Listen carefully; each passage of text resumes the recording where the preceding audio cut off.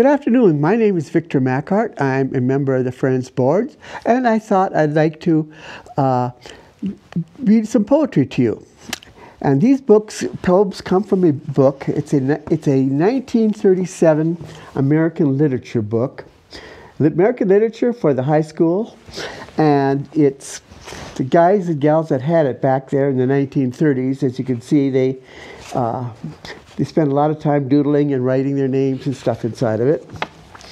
Um, it's written, it is, it's edited by Henry Garland Bennett. He's the president of the Oklahoma Agricultural and Mechanical College in Stillwater, Oklahoma. And it was published in 1935. And so I'm going to read some poems from you, and you'll get a taste of some of the some of the poems this, from this period. And some of them are quite some are quite fun, some quite interesting, and some kind of spooky. The first one is Annabel Lee by Edgar Allan Poe. It is many and many a year ago in a kingdom by the sea that a maiden there lived whom you may know by the name of Annabel Lee. And this maiden she lived with no other thought than to love and be loved by me. She was a child and I was a child in this kingdom by the sea, but we loved with a love that was more than love, I and my Annabel Lee, with a love that winged seraphs of heaven coveted her and me. And this was the reason that long ago, in this kingdom by the sea, a wind blew out of a cloud by night, chilling my Annabel Lee, so that her high-born kinsman came and bore her away from me to shut her up in a sepulchre in this kingdom by the sea. The angels not half so happy in heaven when envying her and me. Yes, that was the reason, as all men know, in this kingdom by the sea, that the wind came out of the cloud chilling and killing my Annabel Lee. But our love, it was stronger by far than love of those who are older than we, of many far wiser than we and neither the angels in heaven above nor the demons down in the sea could ever dissever my soul from the soul of the beautiful Annabel Lee.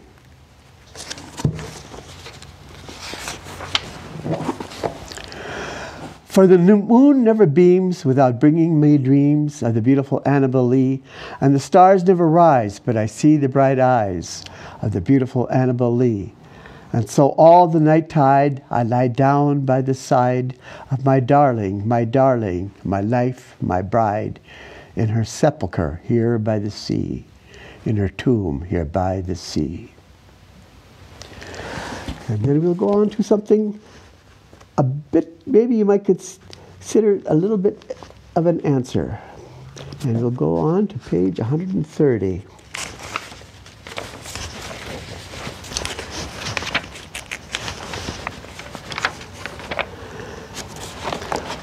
This poem is called Evolution by John Banister Tabbs. Out of the dusk, a shadow, then a spark. Out of the cloud, a silence, then a lark. Out of the heart, a rapture, and then a pain. Out of the dead, cold ashes, life again.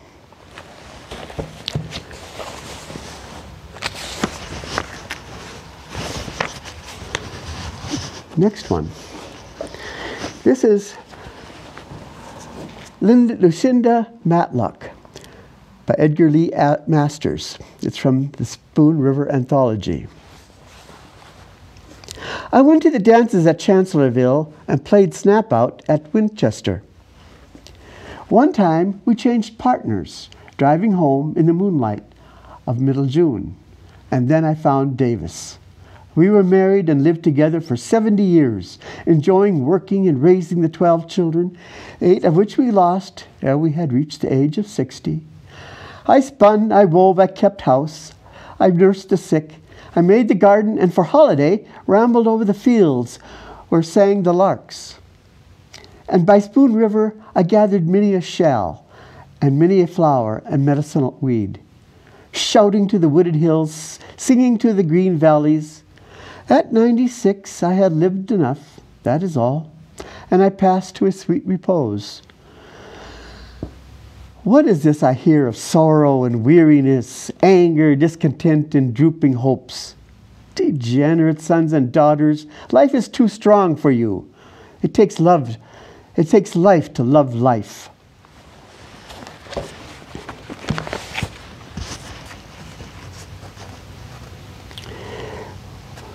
Okay, then we'll go to Little Orphan Annie,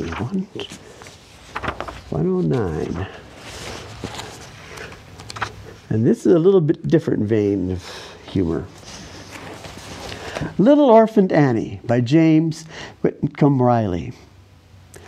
Little Orphan Annie, she knows the riddles, rhymes, and things, knows about witches that rides, brooms, and imps that flies with wings the same as bats and lightning bugs, and knows about ring maries that this can take and turn themselves into anything they please. And children all, both great and small, she says and rolls her eyes. When we're listening all so still, you needn't be so surprised if right this living minute, before you know what's about, that the goblins will get you if you don't watch out. Little orphan Annie's come to our house to stay and wash the cups and saucers up and brush the crumbs away. And see the chickens off the porch and dust the hearth and sweep and make the fire and bake the bread and earn her bread and keep. And all us other children, when the supper things is done, we set around the kitchen fire and has the mostest fun a listening to the witch tales that Annie tells about and the goblins that get you if you don't watch out. Once there was a little boy wouldn't say his prayers, and when he went to bed at night, away upstairs, his mammy heard him holler, and his daddy heard him bawl, and when they turned the kivers down, he wasn't there at all. And they seeked him in the rafter room and cubbyhole and press, and seeked him up the chimbley flue, and ever wherever else, everywhere else, I guess.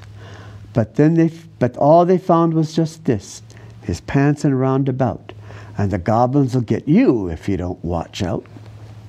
And one time a little girl would always laugh and grin and make fun of everyone and all her blood and kin.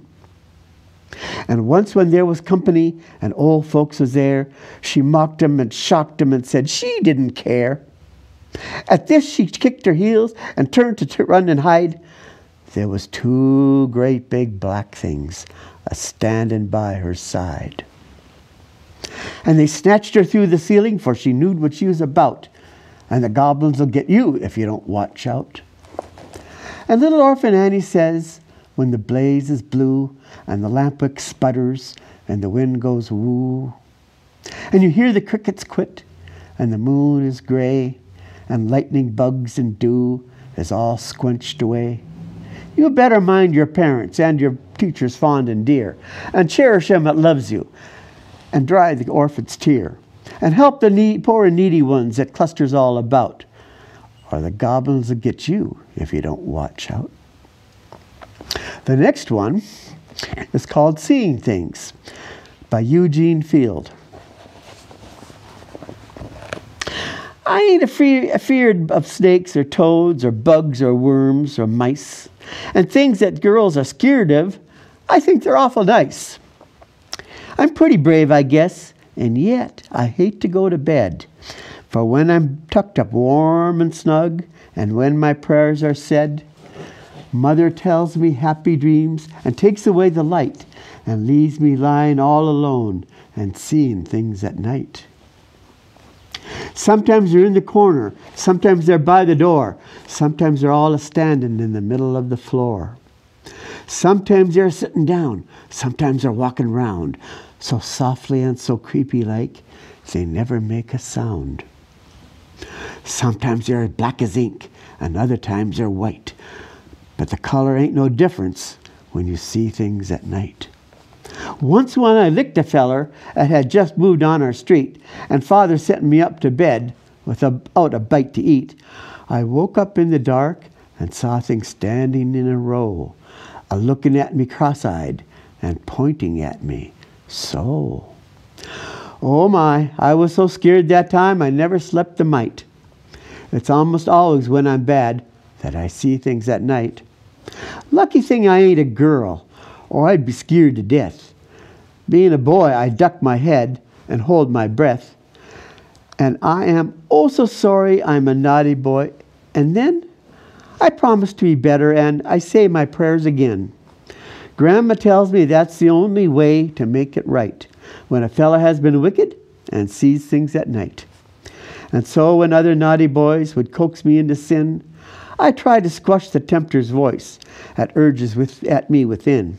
And when there's pie for supper or cakes as big and nice, I want to, but I do not pass my plate for them things twice. No, I'd rather let starvation wipe me slowly out of sight than I should keep a living on and seeing things at night. And then we get to something a little more 122, a little more, just a little more poetic, ethereal, so to speak. 122.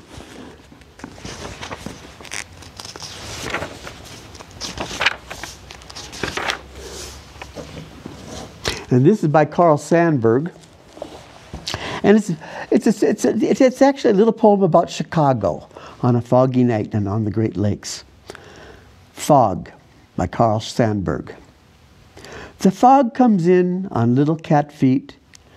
It sits looking over the harbor and city on silent haunches and then moves on. And then we have the last one, 132. And this was, a, for many years, something you memorized back when I was a kid in the 40s and 50s, and even earlier. The book, poem is called Trees by Joyce Kilmer. I think that I shall never see a poem as lovely as a tree. A tree whose hungry mouth is pressed against the earth's sweet flowing breast. A tree that may in summer wear a nest of robins in her hair upon whose bosom snow has lain, who intimately lives with rain. Poems are made by fools like me, but only God can make a tree. The end. Hope you enjoyed it. All right, we'll start. Okay, just to finish off this, my poetry reading, this book again came from um, the American literature. It was a high school book printed in 1935, and uh, it can be. Uh, you can purchase this book or others like it with all with those poems in it uh, at the uh, Historical Museum at Fort Missoula's uh, online book sale that is going to be to, for this year, hopefully the only time we replace our regular book sale, and uh, so that these books are this book is in with that sale and it's available if you want to buy it.